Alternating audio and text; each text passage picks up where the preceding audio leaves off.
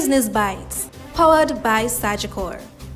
Hello, I'm Andrew Laidley with your Business Bites. Gaming giant Supreme Ventures Limited SVL could be warned for prosecution by the Fair Trading Commission FTC, which has cited the Jamaican based company for abusing its dominant market position in the Jamaican gaming business in a draft report.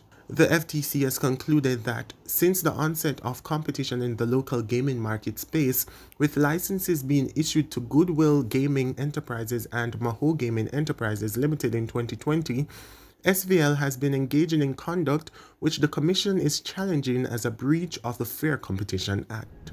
As gas prices soar to record highs, discussions around the possibility of domestic sugarcane ethanol production is being revived. Sugarcane ethanol is an alcohol-based fuel produced by the fermentation of sugarcane juice and molasses. Since the start of the year, Jamaicans have paid about $12 or 7.8% more for both 87 and 90 gasoline.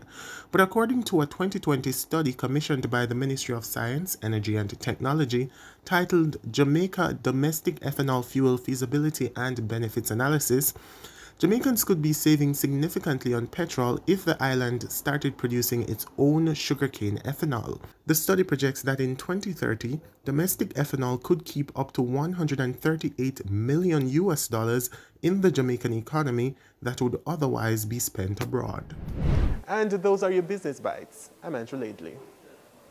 Business Bites, powered by Sagicor.